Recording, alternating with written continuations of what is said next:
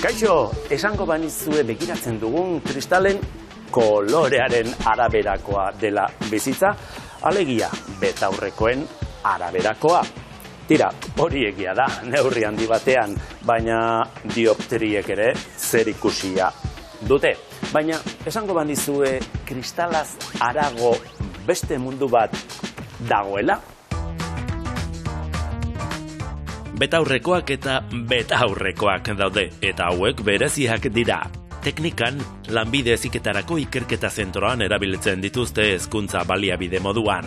Han, hainbat teknologia lantzen eta erabiltzen hasi dira, errealitate edatuaren aukera didaktikoak aprobetsatzeko, etorkizunean ikasteko eta irakasteko ezinbesteko erremintak izango direlako.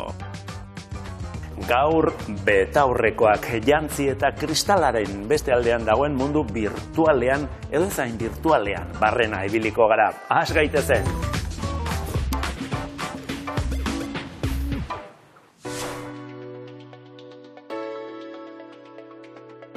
Zineak eta bideojokoek erakutsi digute badirela beste errealitate batzuk guretik arago.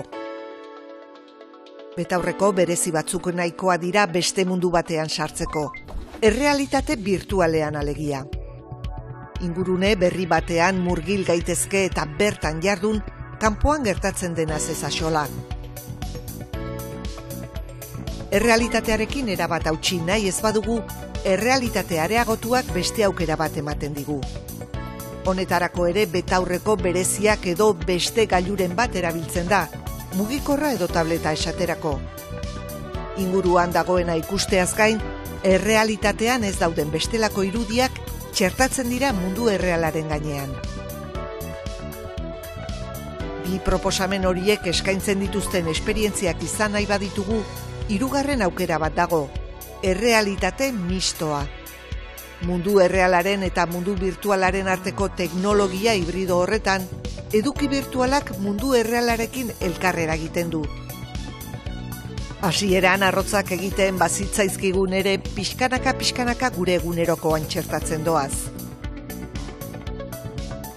Teknologia aurreratua ahala, zenbait konpainiak mundu virtualaren esperientziari etekina aterana izan zioten, eta metabertsoa sortu zuten. Mundu virtual horietan bizi zintezkeen, zure gelatik atera ere egin gabe. Baina ez dute espero zuten arrakasta izan. Dena den, teknologia guzti horiek bere bidea egiten ari dira ere jakin batzuetan, baita irakaskuntzan ere. Hala, ezinbesteko tresna bihurtu dira etorkizunari begira.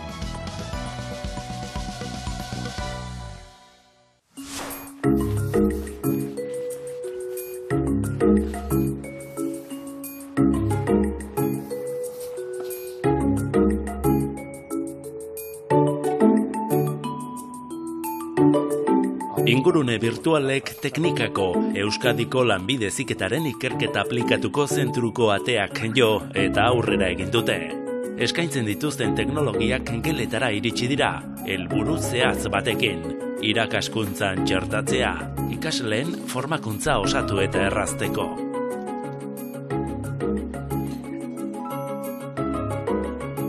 Lehen urratsa teknologia horiek ezagutu eta menderatzea izan da. Tresnak ikastetxetara eraman baino lehen.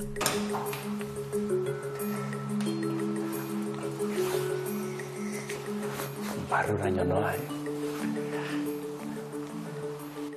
Kaixo, Kaixo, epa, zertan ari zara? hemen txe. Bagela, inmertxibo batean, ba, eduki berezi bat prestatzen ari nik zure mundura sartu behar nuen, baina zure Bai. mundutik atera zaitu. Hoi da, errealitate virtualetik atera naiz, eta orain gaude mundu errealean, ez da? Bueno, hauek betaurrekoak dira, ezta? Bai, hau da, hoi da. Hartzerik badut, Bai. oraintxe jantziko ditut, baina e, zuentzat erreminta pedagogikoak. Hori dira, da, ezta? hori da, teknologia oso azkar aldatzen nahi da, garai batean liburuak zeuden, ordenagailuak daude, tableta daude, smartphoneak daude, baino kasu honetan nahi deguna da errealitate virtuala erabili hezkuntzarako. Batez ere prozedura praktikoak lantzeko, edo eduki berezi eta konkretuak lantzen nahiea, enpresekin batera, eta alderdi pedagogikoa kontutan izan da, pixka prozedura horiek landu nahi ditugu mundu virtualean. Teknologia berri hauek egokitzeko gelak eraldatzea ezinbestekoa izan da. Errealitate virtualerako gela inmertsiboa antolatu behar izan dute. Bertan, ikasleak bete-betean murgiltzen dira aukeratutako esperientzian.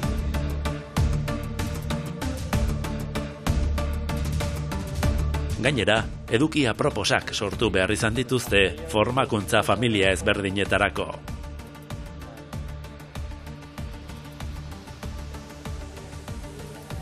Hartu Bai. hauek zuk eta besteak Bai. nik jantziko. Ontxe? Kaixo, zure Kaixo. hemen, orain VRT K6S zara. Hoi da, hemen dago abatarra. Eta ikusten duzun bezala, ba, aerogenerador baten Barrura, eh, Barrura orain sartu da. mundu virtual aldatu dugu, ez da? Bueno, ezakitzuek mundu virtual deitzen diezuen. Bueno, guretzat nahiko ohikoa da mundu virtuala eta errealen artean gabiltza, bai, bai. Mhm. Ikaslea hemen bertan egon daiteke, esan duzu moduan, e, munduaren beste puntan dagoen beste ikasle bati azaltzen, gai bat. Hori da, edo Adibidez. inkluso enpresekin konektatu daitezke, ez? Azkenean munduaren beste puntan dagoen enpresa batek aerogeneradore bat erakusteko Aha. eta adibidez zerbitzu teknikoak ere ba konponketak egiteko, virtualki, ba hori lantzeko ere balio digu. Ezakitzen bateko altuera dagoen hemen, baina beldurra ematen du... Ba, berrogeita mar metro inguru ere. ongo ira, eh? Berrogeita mar metro edo. Berrogeita mar metroko... Oi, ama, ba, espare horregatik ari naiz poliki-poliki mugitzen. Noski hor- hori bihatzen dugu, barrizko egoera horiek ekiditeko, ez, ba, gure ikasleak formakuntza jasotzen duten bitartean, ba, hoitxe simulatzea, ez, arrizko egoera bat, baino, arriskuri gabe, Eta virtualki. orain, e, gertutik, barrutik ikusi dezakegu, e, teknologia eo- eolikoak nola funtzionatzen duen, ez da? Hori da, Barru barruan, eh, sentitzen da bat. hori da, ba, berdina egin dezakegu, eta inkluso hori gela inmertsibo hontan, ba, famili profesional desberdinetako edukiak ditzakegu, Aha. bai? Hori da gakoa, edukiak Hori da. munduak, ez? E, Mundu garatzea. desberdinak, lanbide heziketako munduak, bai, tailer bat izan daiteke, laborategi bat, ospitale bat, egoitza bat, Mm, nahi duzun e, edo zer. hori da, eta bakarrik hon eta off egiten azkenen.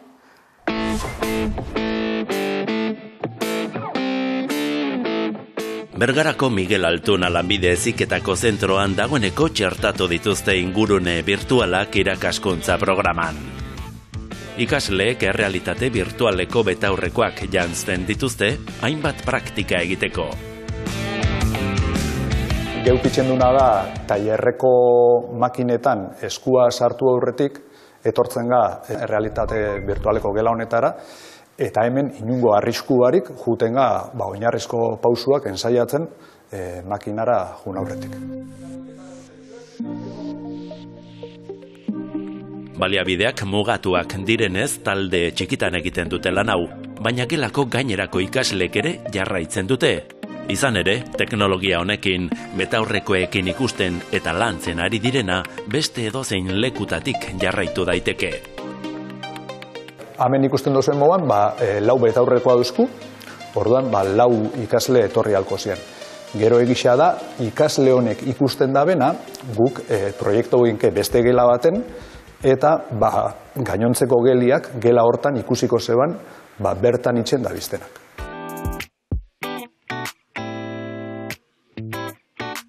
Hain zuzen, ikastetxean gela interaktiboa antolatu dute horretarako.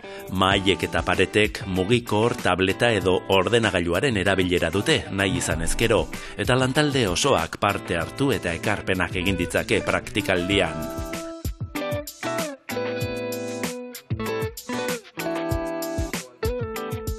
Virtualean trebatu ondoren, tailerrera sartu eta benetako makinetan aritzeko unea iritsi da.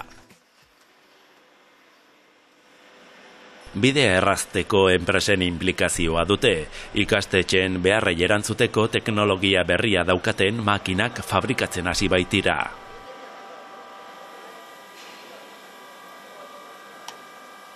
errealitate virtuala ez da Miguel Altunan erabiltzen duten bakarra. Ikasleak trebatzeko errealitate areagotua ere txertatu dute tailerreko mantentze eta muntaia lanetarako ikaste prozesua erraztu eta azkartzeko. Teknologia honek asistentzia lanak egiten ditu jarduera horietan. Ikasleekin lantzen dugu guk e, mantenimenduaren kudeaketa eta mantenimenduaren kudeaketaren atal bat bezala lantzen dugu errealitatea aragotua. Azkenean lagungarri izan daitekelako e, ikasleen dako, gero lanpostuetara joaten direnean, bertan aportatzeko zerbait berezia eta zerbait gehiago beraien lantegietan. Teknologia erraza da erabiltzeko eta oso intuitiboa.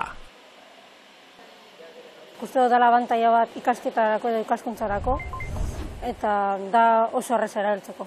Pausuak eta e, ari ganenean montatzen, ba jakiten dugu ze pausua jarraitu eta nola e, atera montaketak eta. Zuko da eskatu menu bat, bale? Kaixo Alberto, Egunon. oraintxe bertan, hemen txego naiz, ez? Horre Bai. berrogeita mar metroko altueran, beta, beta horrekoak jantzita, ez da? Baina, e, esan didazu, etorkizunean eta hemendik aurrera behar bada, hau izango dela irakasleen lekua. Bai, momentu honetan hau da ja irakasleen txoko edo lanpostua aldatu egin dugu gela eta le irakasleen lanpostua. Eta hemendik kudeatzen den gauza batzuk. I, ikasleak nola egiten ari diren lanak e, gelan bertan? Mundu virtualean, esango dugu. bai, eta aukera daukagu ik- ikasleak egotea gela horretan, gela arrunta batean, eta bere etxean ere. Teknologia hauek zer dira, etorkizuna, mm, oraina, Bueno, mm, prestatzen ari zarete. Bai, orain aukera daukagu ja e, martxan jartzeko teknologia horiek eta Posible hori- hori da da gure helburua eta horrexegatik ja martxan jartzen ari gara eta ikastetxetan ja esarpena hori egiten ari dira. Lehenengo pausoak ematen ari zare, bai. etorkizunerantz. Hori da, eta materialak sortzen eta hori da, lan handiena da, lanbideziketarako material bereziak eta zehazkiko materialak sortzea. Argi izan beharko da, ez da, e, bideak nora eramango zaituzten. Pixka bat estrategia ere buruz ari naiz, ez da. Lanbideziketan beti oso aintzindaria izan da gai honetan eta berrikuntzarekin eta eta gai horiek aukera politak ematen digute e, gure formakuntzarako. Bai tailerrak eta hori ez dira desagertuko, baina gauza batzuk egiteko virtualki aukera politak ematen ematen digute. Enpresetan eta hori gauza politak egiten ari dira teknologia hauekin formakuntza munduan eta lanbideziketan pues han izan behar da, bai.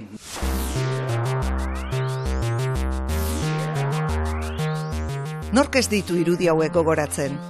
Mundu osoan zabaldu ziren. Aur, gazte eta heldu Pokemonak eizatzen non nahi. Tresna teknologikoren bat behartzen ingurura begiratu eta ikusi ahal izateko. Izan ere, errealitatean kamuflaturik zeuden. Adibide bat besterik ez da hori. Mundu virtualek aukera berriak ekarri dituzte. Ez bakarrik gure aisialdi aukera handitzeko, gure eguneroko bizimodua errazteko baita ere. Eta etorkizuneko zeozer zela iruditzen bazitzaigun ere, dagoeneko eta konturatu gabe erabiltzen ari gara.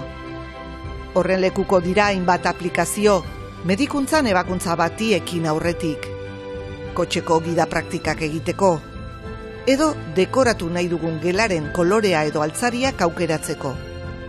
Nasak berak ere erabiltzen ditu erreminta hauek, eta errealitate areagotua baliatu zuen nazioarteko espazio estazioan konponketak egiteko.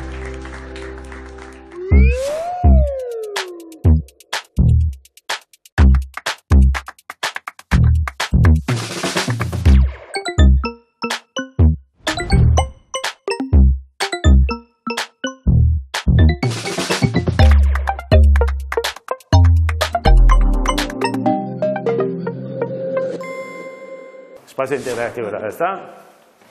Espazio interaktiboa. Wow!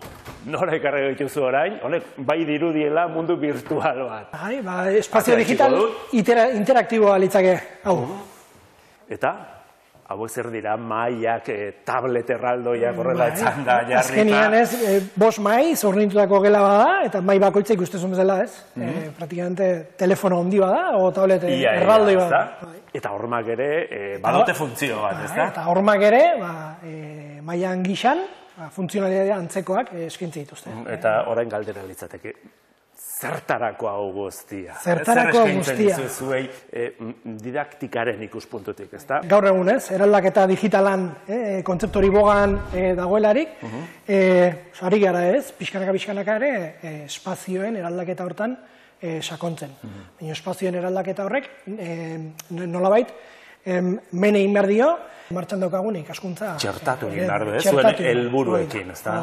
Bultzatu behar duena da, irakaslearen e, pentsaera aldaketa bat. Bai, ezin duguna etorri jolastera, ez? Gatoz, enoait ikaskuntza helburu batzuk e, lantzera egon daitezkenak zuzenean erlazionaturik teknologia digitalekin, edo ez. Zordun, oso importantea da jakitea argi eta garbi zertarako sartzen ditudan hemen e, ikasleak momentu ero. Mm Mugimendua oinez e, erakusten omen, da, edo frogatzen dela, eta guk martxan. Erakutsiko ba, ditugu gailu hauek. Iskatari nintzen bezala, ez? Azkenian hemen eduki mota desberdinak kasuntan irudia dira, ez? Baina eduki mota desberdinak eukitazkego, uh eta eduki mota desberdin horiek, era desberdinean, e, partekatu ditzazkegu espazio osoan zehar, ez? E, eduki bat hartu eta paretan besterik gabe, askatzen baldin gabe, paretan agertzen zait, Eta paretan ere... Eta e, paretara jo naiteke. Gustatu zait egin duzu nau.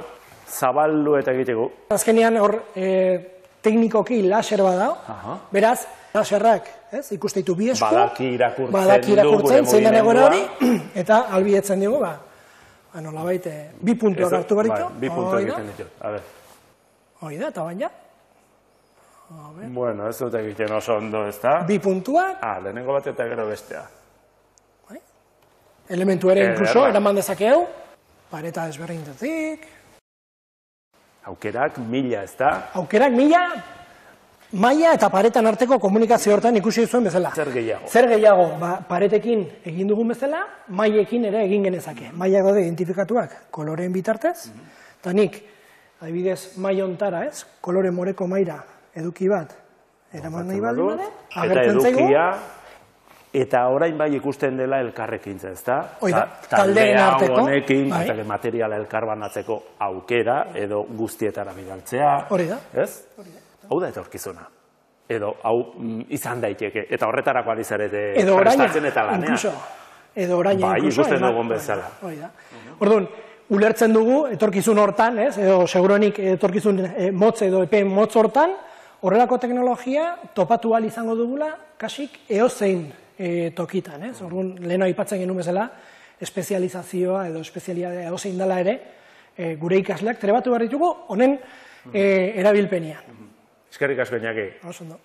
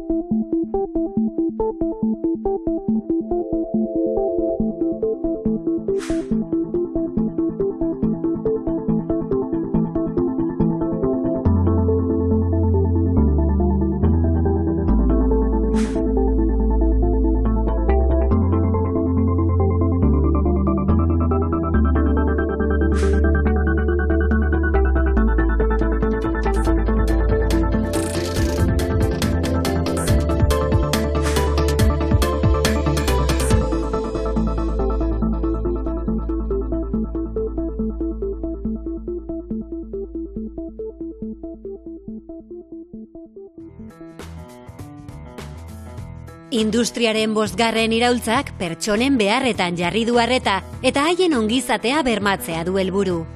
Sortzen ari den industria eredu berriak beharrezkotzat jotzen du langileen erosotasuna bermatzea eraginkortasuna handitzeko. Urrengo urratsak izango dira fabrikak leku seguru eta eraginkor bihurtzea eta teknologia langileen beharretara egokitzea. Arlo horretan aurrera egiteko, Mondragon Unibertsitateko diseinu berrikuntza arloko kideak, roboten eta pertsonen arteko elkarrekintza ikertzen ari dira. Izan ere, harreman horretan, langileak eroso aritzea ezinbestekoa da. Pertsonek eta, eta robotek e, alda batera egiten dituzte e, zenbait tarea. Eta orduan, tarea hauetan pertsonen ongizatea e, bermatze, bermatzeko e, giza faktoreak neurtzen ditugu. Batez ere, pertsonaren ongizatea bermatzeko, pertsona hauek eroso eta, eta segurtasunarekin sentiarazteko, eta horrek ere gero era, e, eragina izaten du industriaren efizientzian. Industriare efizienteagoa izango da e, pertsona geroz eta hobeto sentitzen baldin bada. Robotekin elkarrekintzan ari direnen estres maila, arreta, memoria edo lankarga analizatzen dituzte. Horretarako diseinatutako protokoloak faktore fisiologikoen azterketa integratzen du, besteak beste elektroentzefalografia garuneko seinaleak hartzeko. Garunaren jarduera desberdina da atxedenean eta jardunean, beraz, robot batekin elkarreraginean azterketak egin aurretik, aztergai den pertsonaren garuneko jarduera neurtu behar da. Kalibrazio prozesu hau estandarizatutako prozesu bat da. Hortik abiatuta ja baditugu minimo eta maksimoak eta orduan robotare, robotarekin elkarrera ginean e, zegoenean ja e, bagenekien noiz zegoen e, maksimoa, maksimotik edo minimotik gertuago. Estresarekin lotutako erantzun fisiologikoak ere neurtzen dituzte. Horretarako, bihotz maiztasunaren aldakortasuna, azalaren erantzun galbanikoa eta elektromiografia datuak erregistratzen dituzte. Ikerketek erakutsi dutenez, industria testu inguruetan robotek azkar jarduteak estres handia eragin dezake, baina kontrakoak ere bai, hau da, erritmo motelegiak langileengan deserosotasuna sortzen du. Orduan hor egin behar duguna da e, abiadura eta azelerazio egoki bat aukeratu. Claro, abiadura eta azelerazio egoki hau ezberdina da pertsona bakoitzarengan eta horregaitik ebaluatzeko prozesu hauek individualizatuak izan behar dira. Eta or, eta hortik aterako ditugu pertsona ba, pertsona bakoitzarekin e, elkarrera ginean daudenean robotak ze abiadura eta ze azelerazio eduki beharko duen. Erosotasuna eta eraginkortasuna hobetzeko, lan ingurunea pertsonari nola egokitzen zaion ere aztertu beharko da. Horretarako jantzi hau erabiltzen dute. Mugimenduak monitorizatzeko erabiltzen dute eta jasotako datuekin azterketa ergonomikoak egiten dituzte. Langileen pertzepzio subjektiboa ere kontuan izan behar da eta horretarako neurketa fisikoak galdetegiekin osatzen dituzte. Emaitzak lankargaren ebaluazioa ematen du. Guk normalean ondorioztatzen duguna adibidez izan daiteke interfazea ez dagoela ondo diseinatuta. Eta orduan interfaze hori e, simplifikatu egin behar dugula eta prozesu iteratibo baten bitartez interfaze, interfaze hori hobetzen goaz. Aldik eta lankarga gutzien e, izateko erabiltzen duten pertsonek. Lantoki aurreratuetan adimen artifiziala ere sartu da. Sistema horien fidagarritasun maila ikertzen du Mondragon Unibertsitateko Elektronika eta Informatika Departamentuko Sistema eta Software Ingeniaritza taldeak. Auto autonomo batekin egiten dituzte entxeguak, baina ikerketen emaitzak edozein sistema adimendunetan erabil daitezke. Entrenamendua da sistema autonomoen erabakien oinarria zenbat eta datu gehiagorekin entrenatu, orduan eta fidagarriagoa izango da erantzuna.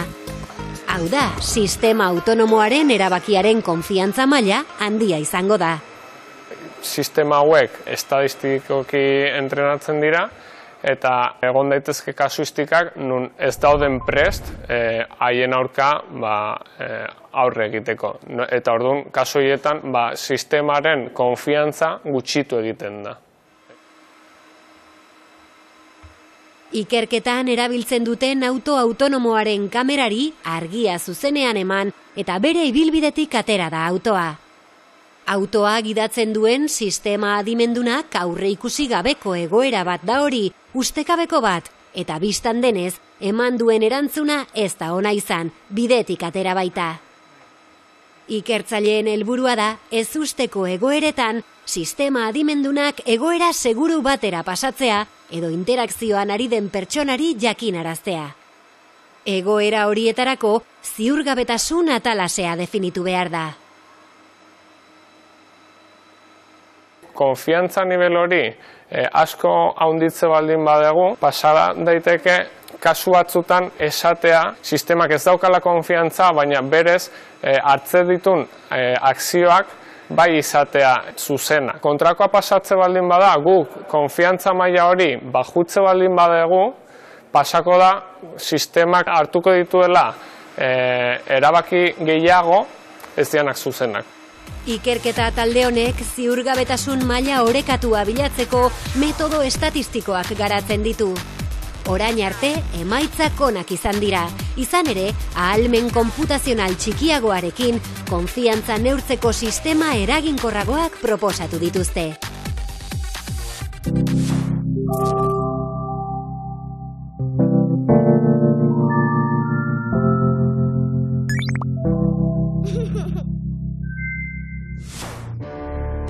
Duela aste gutxi Galiziako kostaldean istripu baten ondorioz itsasoan galdu ziren plastikozko pinportauek izebergaren punta baino ez dira. Hogei tona galdu zirenan, gutxi, kontuan izaten badugu urtero ozeanoetara bosteun mila tona plastiko botatzen dugula. Datorren astean arazoan di horri buruz hitz egingo dugu, nondik datorren eta nora doan, zer eragin duen gure osasunean, eta baita irten bidez ere. Hau adibidez, robot baten da. Euskal Zentro Teknologiko batek itxason doa garbitzeko diseinatu duena. Itxasoko zabor plastikoaren errealitatea datorren astean Teknopolisen. Ordur arte, agur!